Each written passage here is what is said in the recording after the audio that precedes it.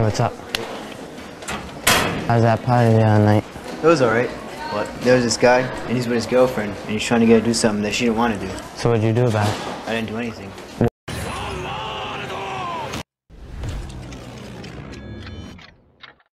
Whoa, what? Guys, don't be like my friend here who didn't do anything. Not doing anything is part of the problem.